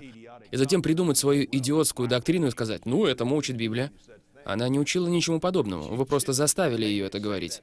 Например, можно взять место Писания о том, что Иуда пошел и повесился а затем взять другое местописание, которое говорит «и ты так поступай». Говорю вам, что вы можете подстроить так, что Библия будет говорить то, что вы хотите, чтобы она говорила, так, чтобы вы могли оправдать все то, что вашей плоти хочется идти делать. Но я говорю не об этом. Я говорю об устах двух или трех свидетелей из Слова Божьего. Когда вы находите какое-то местописание, на котором вы стоите, прочитайте всю ту книгу в Библии, в которой оно написано. Изучите всю ту книгу, Изучите весь контекст. Изучите все там, без номеров глав и стихов. Читайте ее, читайте ее и читайте ее. И оно говорит вам, и вы видите этот свет и это маленькое место. Держитесь за него, пока вас не взойдет утренняя звезда, слава Богу. Но мы посвятили себя этому, понимаете? Мы тогда только-только начали это служение, Боже мой. И брат Гарольд Николс пригласил нас проповедовать церковь Грейс Темпл. О, вы говорите о мужественном человеке. Брат Гарольд, встаньте, пожалуйста, аминь. С ним здесь вся его семья. Хвала Господу. Вы говорите о мужестве. Фактически он пригласил меня приехать в его церковь и провести серию собраний. О, Господь. Аминь. Он, должно быть, помолился. Слава Богу. Я принял его приглашение. И вот я изучал Слово Божье, читал его, и я наткнулся на место Писания, которое говорило «Не оставайтесь должными никому ничем, кроме взаимной любви». Я нервно сглотнул. Я сказал, о, это не может это означать. Что-то должно быть. И при устах двух или трех свидетелей Господь, оно не может этого говорить. Я знаю, я возьму расширенный перевод Библии и посмотрю, что он говорит. В нем говорилось «держитесь подальше от долгов». Затем я просмотрел некоторые ссылки на это местописание, и куда бы я ни смотрел, они начинали говорить мне это. Ты будешь головой, а не хвостом, и будешь давать займы, а сам не будешь брать займы. Затем я нашел местописание, которое говорило, что должник является рабом взаимодавца. Что ж, это делает вас хвостом, а не головой. Понимаете, я подумал, о бог, буквально всего несколько дней назад я принял решение следовать твоему слову, я позвал Глорию. Я думал, что, может, она как-то меня из этого вытащит, понимаете? Я сказал, посмотри, что я здесь нашел. И когда я ей это прочитал, она где-то минуту несколько ошарашенно на меня смотрела. Я сказал, посмотри на это. Там так говорится. Она ответила, да, не так ли? Да. Что мы будем делать? Она сказала, что ж, если там так говорится, то Бог написал это для нашей пользы, а не для того, чтобы нанести нам урон. И именно так оно и будет. Да, вот вам и машина, и дом, и все остальное, о чем я когда-либо мечтал. Но я не знал, как можно было действовать как-то иначе. Я не знал никого, кто жил бы без долгов. Никогда не встречал никого, у кого не было бы долгов. Что мы будем здесь делать? Я подумал, что ж, какая разница? Аминь. Я буду это делать. И мы снова совершили хлебопреломление. Аминь. Я сказал, так и будет. Так и будет, слава Богу. Я сказал, если у нас никогда ничего не будет, так или иначе, это полностью зависит от Тебя, Господь. Но мы увидели это в Твоем Слове. Твое Слово является окончательным авторитетом в нашей жизни. И именно так оно и будет. После этого у нас больше не возникало на этот счет никаких вопросов. Я не начал звонить по телефону куче людей и спрашивать их об этом. Я знал, что они скажут. Они знали об этом не больше меня. И некоторые из них позже все-таки дали мне свой «замечательный» в кавычках совет. И я так рад, что услышал это уже потом. Это было бы похоже на сделку завравшегося афериста. Боже мой, всевозможного рода отговорки и оправдания, которые только можно себе представить. Я понимал, что они читали те же самые места Писания, что и я. Они просто не хотели этого делать. Поэтому они сформировали всю эту точку зрения, оправдывающую то, почему вы не должны этого делать. Что ж, вы не должны. Вы не должны идти на небо. Вы можете пойти на небо, имея кучу долгов. Но в это здесь вовлечено кое-что еще. Аминь. Бог является нашим источником. Поэтому мы встали на это слово, приняли хлебопреломление и сказали, так оно и будет. И в каком положении я теперь нахожусь? Я услышал от Бога. Бог сказал мне это. Это то, что я слышу. Потому что у меня есть вернейшее пророческое слово. Я имею здесь дело не с точки зрения, я имею дело с Богом. Вначале было слово, и слово было у Бога, и слово было Бог. Оно более реально, чем если бы Бог встал перед людьми и сказал, не берите взаймы. Почему? Потому что у меня есть лучший путь. Я услышал это, и после недолгого борения я сказал, слава Богу! Здесь есть что-то. Здесь есть что-то, чего я раньше никогда не видел. Я буду преуспевать. Я получу свои мечты, я получу желание моего сердца. И Богу придется это сделать без помощи банка, без помощи кредитного союза, без чего-либо от этого мира. Ему придется сделать это самому. У меня просто была финансовая связь с небесами. Слава Богу. И я по-прежнему спустя 43 года соединен с ними. Хвала Господу. Говорю вам, это замечательно, 43 года быть свободным от долгов. Мне ни разу не приходилось звонить банкиру или кому-то еще для того, чтобы получить разрешение дать то, что Бог сказал мне дать. Аллилуйя. Почему? Вы пребываете в Слове Божьем. Пребываете до тех пор, пока вы истинно не становитесь в этом Его учеником. Все пришло к тому, что мне пришлось узнать, как жить таким образом, потому что у меня больше не было выбора. Я должен был научиться этому. О, это ставит вас в такое положение, и это делало кое-что еще, чего я долгое время не замечал. Это является такой страховкой. Вы представляете, на покупку какого большого количества всякой ерунды я бы назанимал денег. И сколько неправильных шагов я бы за эти годы сделал, которые на тот момент казались действительно потрясающими. Но благодаря этому посвящению я не мог этого сделать до тех пор, пока Бог не приводил деньги на это. И за это время я видел, что это было чем-то, что Бог не очень-то поддерживал. Вы говорите о защите. В Слово Божье встроено огромное количество защиты, чтобы защитить вас от вашей собственной плоти. Аллилуйя. И другие люди идут и берут займы все эти деньги, и они выстреливают вот так. А вы по-прежнему... Вы по-прежнему стоите на слове, продвигаясь шаг за шагом. Но это как тот кролик и черепаха. Аминь. Кролик быстрый. Поэтому он думает, что у него есть время немного посидеть, у него есть время поиграть, у него есть время побегать и поделать то и это. Старая черепаха знает, что если она хочет, чтобы у нее все получилось, ей нельзя останавливаться, и ей нужно идти по прямой. Она не может забежать к бабушке. У нее нет времени. Ей нужно оставаться на Слове Божьем, ей нужно оставаться с Богом. Ей нужно продолжать двигаться с Богом, продолжать слышать Бога, продолжать ходить в Его Слове, аллилуйя потому что у нее есть вернейшее пророческое слово, и ее старая плоть устает и иногда раздражается из-за этого, но Бог все равно относится к ней с терпением и просто продолжает вести ее, продолжает двигать ее.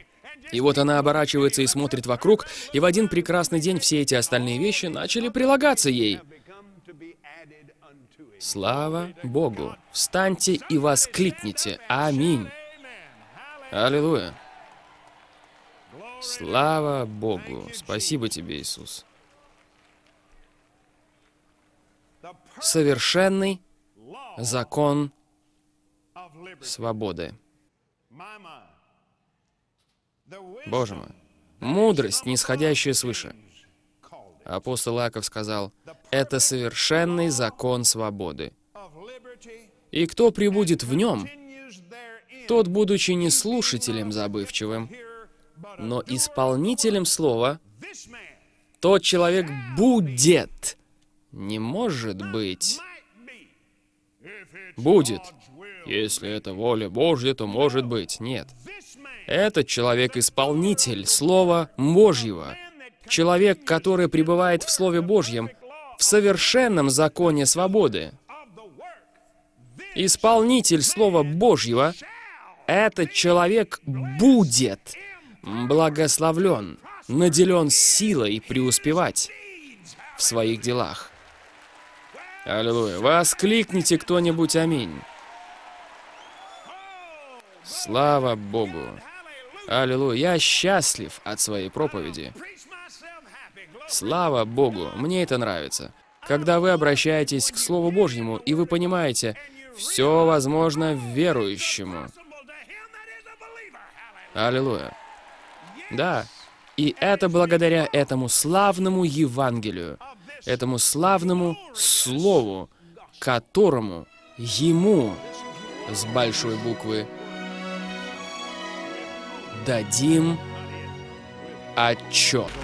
Хвала Господу. Отец, мы благодарим Тебя сегодня за Твое Слово. И мы принимаем Божье благословение, открывая его и входя в покой и мир Слова Божьего. И мы открываем свое сердце и свой разум для откровения с небес. И мы благодарим Тебя за него. Во имя Иисуса. Аминь. Вы можете садиться. Откройте вместе со мной свои Библии на пятой главе Евангелия от Луки. Несколько лет назад я был в одной церкви в Южном Техасе.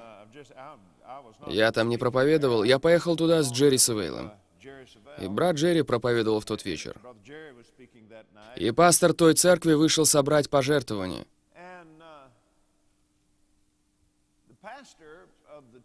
И он открыл свою Библию на пятой главе Евангелия от Луки и начал читать. Дух Божий кое-что мне сказал. И после того, как он мне это сказал, мне было несколько стыдно, что я никогда этого не видел, потому что это было настолько ясно. И с тех пор это стало больше, чем просто откровением. Это стало чем-то основным в моей жизни. я верю, я верю, что это точно так же поможет сегодня и вам. Первый стих пятой главы. «Однажды, когда народ теснился к нему, чтобы слышать Слово Божье, подчеркните это, они теснились к нему, чтобы слышать Слово, Слово Божье. Помните Марфу и Марию? Мария села у ног Иисуса, чтобы слышать Слово Божье. Марфа расстроилась из-за этого, и Иисус сказал, «Марфа, ты заботишься о большом угощении». Это было сказано очень вежливым образом. «Женщина, ты слишком занята». И она сильно расстроилась и сказала, «Тебе нужды нет? Скажи моей сестре, чтобы помогла мне, заставь ее мне помочь». И Иисус ответил, она здесь кое-что избрала. Она села у его ног, чтобы услышать слово, и затем он кое-что сказал очень замечательное. Он сказал, «Марфа, одно только нужно. Что бы вам ни было нужно, ответом на это является Слово Божье. Что бы вам ни было нужно, Слово Божье произведет это. И Марфа, она оказалась там в сложном положении.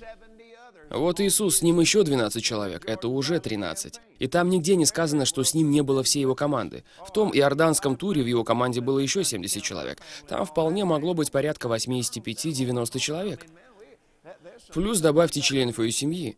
И у них там за углом не было никакого ресторана быстрого питания. Поэтому кому-то нужно было что-то покрошить, что-то приготовить. И вот Мария сидит там, у ног Иисуса. Она сидит там, говоря, «Мне все равно. Мне все равно, поедят они или нет. У меня в гостиной сидит Иисус из Назарета. Он сидит там и преподает Слово Божье. И вы думаете, что я отправлюсь на кухню.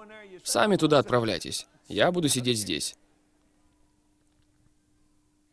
Что, по-вашему, бы произошло, если бы Марфа пришла туда, поставила на пол миску с фасолью и толкнула ее к ним, и сказала, «Я слышала, что ты сделал с теми хлебами и рыбками. Я не буду стоять на кухне в то время, как ты здесь преподаешь Слово Божье. Если вы хотите покушать, сделай что-нибудь с этой фасолью, но я не отправлюсь на кухню. Ты здесь со Словом Божьим». И это занимает свое место в том, что мы здесь увидим. Бог предлагает нам себя. Он послал Духа Святого вести, учить и наставлять нас на всякую истину. Все, что есть у Бога, Иисус сказал, «Все, что имеет Отец, есть мое, и Он от моего возьмет и возвестит вам». Но мы настолько заняты. Это печальное положение дел. Вы это знаете? Я однажды это пережил. Это было несколько лет назад. Брат Робертс позвонил как-то днем и спросил, «Что ты будешь делать в ближайшие два дня?» Что ж, не имело никакого значения, что я собирался делать в ближайшие два дня. Ответ был, «Все, что вы скажете». И он сказал, «Я на этих выходных еду проповедовать в Даллас. «Я приеду завтра. Я хочу провести пару дней в твоем доме». Я ответил, «Хорошо». И это было еще до того. Конечно, я знал его, потому что я был его пилотом, когда учился в университете Ролла Робертса. Но это было несколько лет спустя. И еще до того, как мы развили те близкие взаимоотношения, которые есть у нас сейчас. В действительности, в тот день было положено начало этим взаимоотношениям. Он приехал, на следующее утро, когда мы с Глорией встали и отправились на кухню, у нас на кухне сидел Орл Робертс со своей открытой Библией. Рядом лежал его блокнот. И когда мы вошли, он сказал, возьмите свои Библии. Слава Богу. О, у нас там, на кухне, чуть ли не целый день, проходило церковное служение. Аминь. Теперь вы понимаете, что чувствовала Мария. Я определенно знаю, что она чувствовала. Разве это не было бы печально, если бы я зашел туда и сказал, «Брат Робертс, извините, мне жаль, но мне нужно покосить траву во дворе». Мне все равно, если она выросла там по колено, какая мне разница, я вам гарантирую. Глория тоже не была занята приготовлением завтрака. Мы погрузились в Слово Божье. Аллилуйя. Аминь. Итак, давайте продолжим читать дальше. Однажды, когда народ теснился к нему, чтобы слышать Слово Божье, а он стоял у озера Генесарецкого, увидел он две лодки, стоящие на озере. А рыболовы, вышедшие из них, вымывали сети. Эти два утверждения являются ключевым моментом. Люди теснились к нему, чтобы слышать Слово Божье, и те рыбаки вымывали свои сети. Обратите внимание, во множественном числе они вымывали свои сети.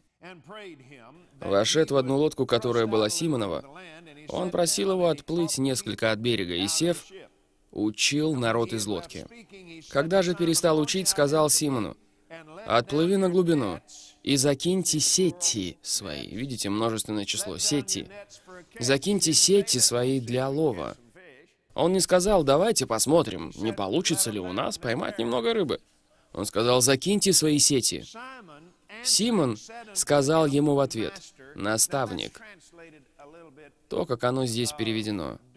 Западному уму трудно это понять.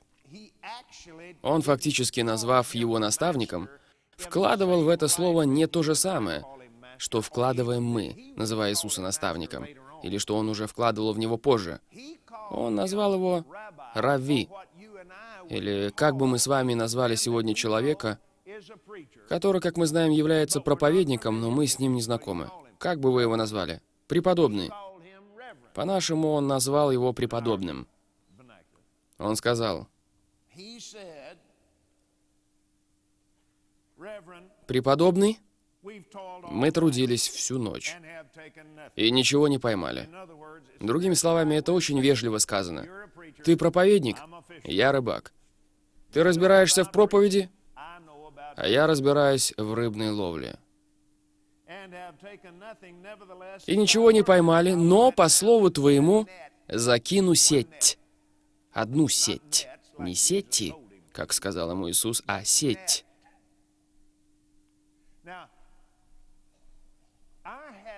И до того вечера, когда я оказался в той церкви в Южном Техасе, до того вечера я несколько раз проповедовал о том, что Петр поступил по слову Иисуса. Он сказал, но по слову твоему. Затем Господь исправил меня. И в тот вечер, и позже, когда я это изучал, Он сказал, ты здесь ошибаешься. Он не сделал это, почитая мое слово. Он сделал это просто потому, что я этого хотел. И он сделал это из уважения ко мне, потому что я был в служении, я был Рави. И он уважал это. И поэтому он сказал, Рави хочет поплавать по озеру, мы немного повозим его. Остановитесь и подумайте об этом. Он работал всю ночь. Его жена готовит ему завтрак. И он это знает. Он вымыл все эти сети, и ему не хочется снова их пачкать, только лишь из-за того, что этот проповедник ничего не знает о рыбной ловле. Нельзя ловить рыбу в Генесарецком озере в дневное время. Вода слишком прозрачная. Солнце высоко и ярко светит. Как только вы забрасываете сеть, рыба тут же разбегается. Это просто пустая трата времени. И вот что Дух Божий сказал мне в тот вечер. Он сказал, Петр думал, что он знал, что произойдет, исходя из своего прошлого опыта. Иисус знал, что произойдет, потому что он был Вадим Духом Святым. Вы видите здесь разницу? И Петр вложил в служение Иисуса, даже несмотря на то, что он не сделал это целенаправленно, но, по крайней мере, Иисус воспользовался его лодкой. Так что Петр действительно вложил в служение Иисуса, и он уважал Иисуса. Не поймите неправильно. Он не был настроен воинственно. Он уважал Иисуса, но он не сказал, «О, по слову твоему я сделаю это». Он сказал совершенно не это. Он сказал, просто потому что ты так говоришь, ладно, я сделаю это. И вы сейчас здесь это увидите, когда я покажу вам, что сказал мне Господь. Сделавши это, они поймали великое множество рыбы, и даже сеть у них прорывалась. Не закрывайте это место и откройте 21 главу Евангелия от Иоанна. Иоанна, 21 глава. Это уже другой случай. Это не тот. Это не тот день. И фактически, это произошло спустя примерно три года. Шестой стих. Иоанна 21.6. Он же сказал им, «Закиньте сеть по правую сторону лодки и поймаете». Они закинули и уже не могли вытащить сети от множества рыбы. Они не могли вытащить эту сеть, но она не порвалась. Сети были достаточно крепкими и делались достаточно крепкими, чтобы не прорываться. Я имею в виду, какая польза от сети, если она порвется, как только наполнится. Вы следите за ходом моей мысли? Они забросили здесь эту сеть, и они не могли сдвинуть ее с места. Они не могли ее вытащить. Но она не порвалась. Я также хочу вам напомнить, давайте вернемся в пятую главу Евангелия от Луки. Сеть у них прорывалась. Когда тот пастор в тот вечер прочитал эту фразу про прорванную сеть, Дух Святой проговорил ко мне. Это было настолько сильно. Я вскочил. Я вскочил вот так, и Джерри посмотрел на меня. Он знал, что Господь что-то мне сказал. И Господь сказал, «Та сеть была гнилой». Я никогда об этом не думал. Я спросил у Господа. Он закинул гнилую сеть, не так ли? И он ответил, именно это он и сделал. У него была старая сеть, и ему было все равно, если он ее испачкает, потому что он все равно не собирался ее больше использовать. Он знал, что она порвется, если в нее попадет какой-то улов. Все хорошие сети он вымыл и отложил в сторону. Он собирался просто удовлетворить просьбу Рави. Он думал, что они сейчас отплывут, он пару раз забросит эту сеть и вернется назад. И пойдет домой завтракать. Он пытался, он работал всю ночь. Его жена будет теряться в догадках, почему его еще нет дома. И они отплыли. И в эту его старую, гнилую сеть набился большой улов рыбы, и сеть порвалась. И вот стоит Иисус. Вот Петр со своей гнилой сетью. Он осматривается и видит, что вокруг лодки собралась вся рыба того озера. Вся. Там собралась вся рыба, жившая в озере. Скажите мне, какая из тех рыб скажет Господу, «Нет, я сегодня не приду, Иисус, я беру выходной, ты понимаешь?» Рыба так не делает.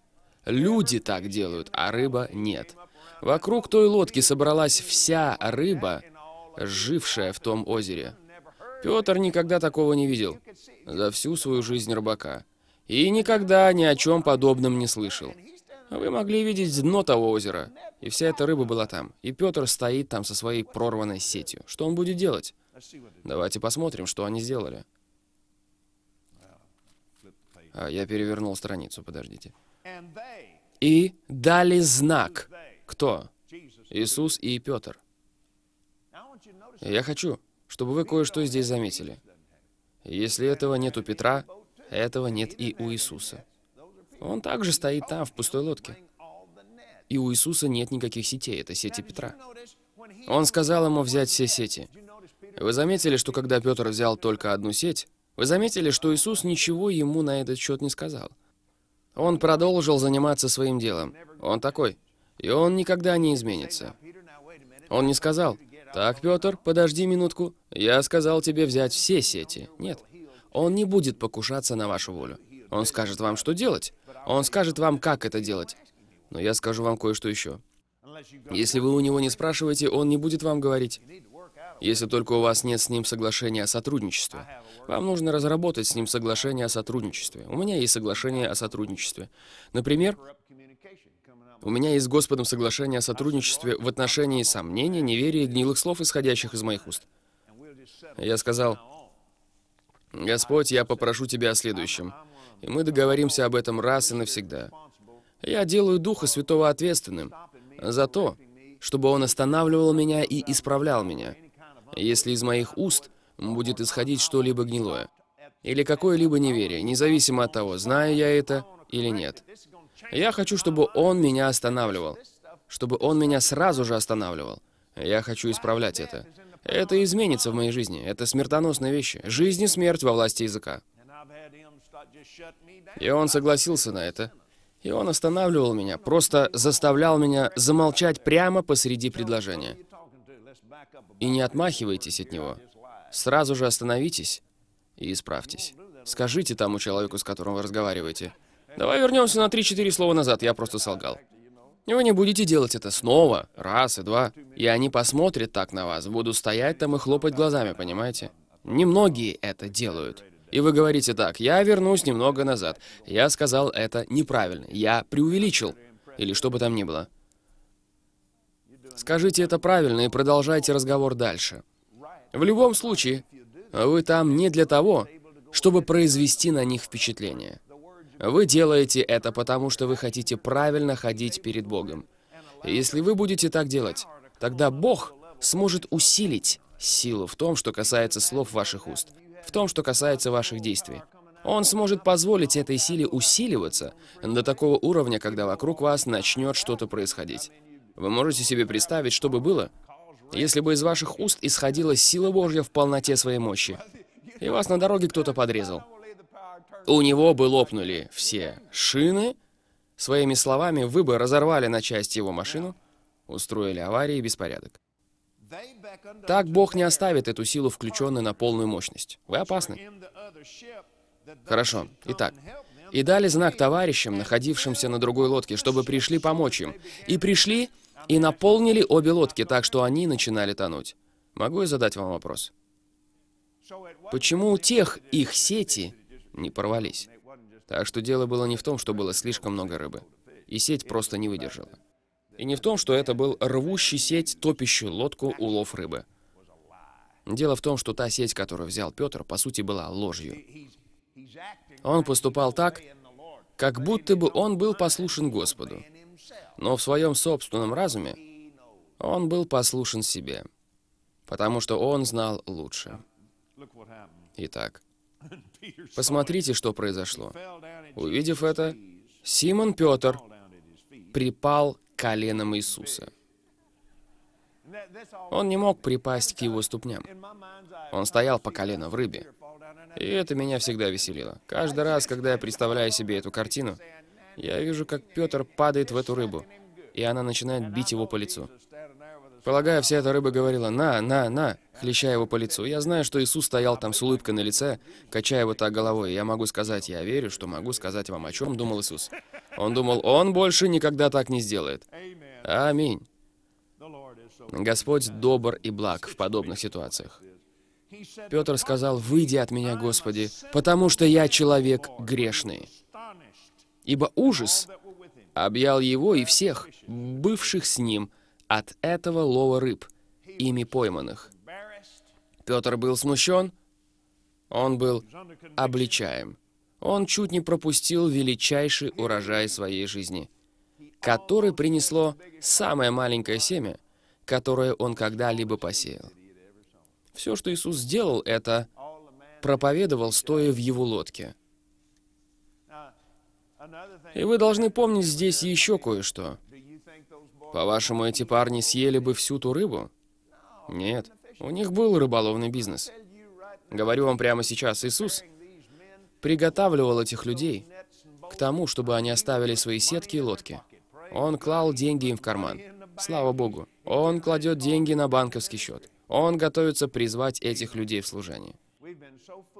Мы были настолько глупы в нашем мышлении, в наших представлениях о том, как Бог работает в этих вещах. Иисус сказал им, «Я хочу, чтобы вы пришли, но я не хочу, чтобы вы что-либо с собой приносили. Ничего не приносите». И люди схватились за это и сказали, «О да, аминь. Мы будем такими же босыми, как они». Что ж, вам нужно взять и прочитать остальной Новый Завет. Потому что когда его служение подходило к завершению, он спросил, «Когда я сказал вам ничего не приносить, нуждались ли вы в чем-либо?» Они ответили, «Ни в чем». Он говорил здесь следующее, «Я не хочу, чтобы вам приходилось служить на своем содержании. Это Бог. Он сделал их преуспевающими, а потом позволил им пойти и положить эти деньги в банк.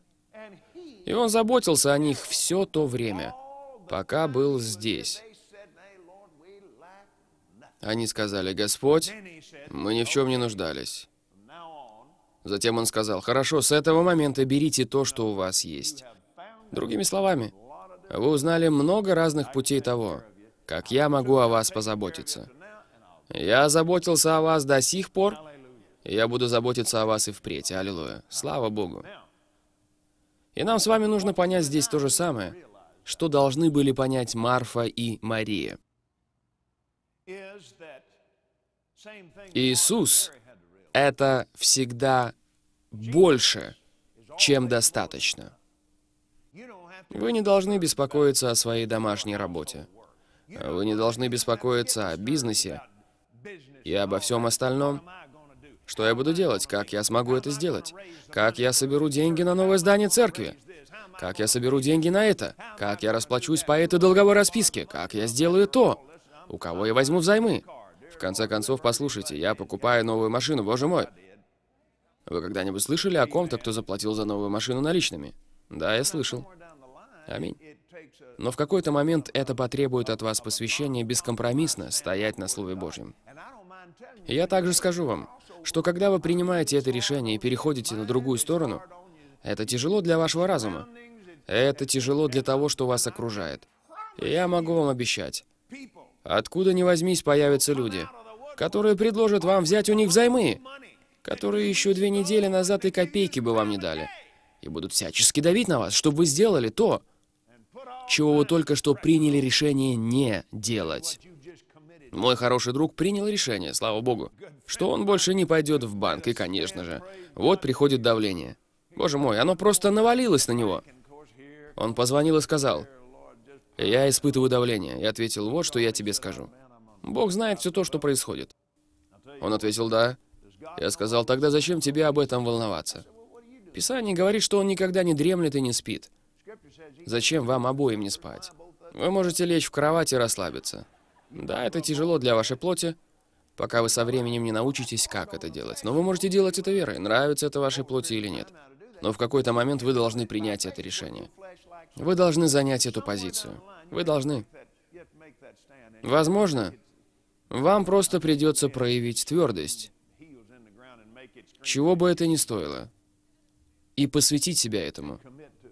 Но это выведет вас победителем если вы будете молиться, слушать и быть послушными.